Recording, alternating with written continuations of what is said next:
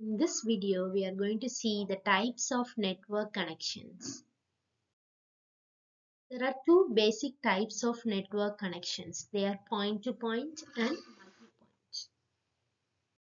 First, we can see the point-to-point connections. This connection allows one device to communicate with other device. For example, two phones may pair with each other to exchange information or pictures.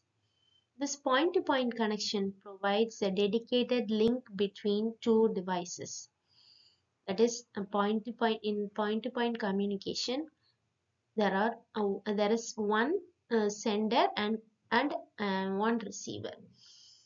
The entire capacity of the channel is dedicated between the two connected devices and the point-to-point -point communication uh, also provides security and privacy because the communication channel is not shared.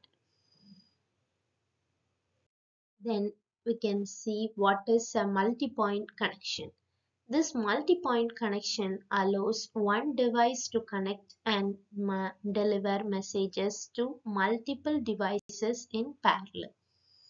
That is, in this connection, two or more devices share a single link.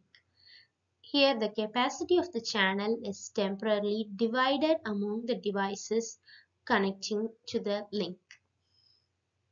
And this multi-point communication does not provide security and privacy because the communication channel is shared. Seeing this diagram, we can clearly understand what is a point-to-point -point connection and what is a multi-point connection. Subscribe to, to my channel if you feel contented.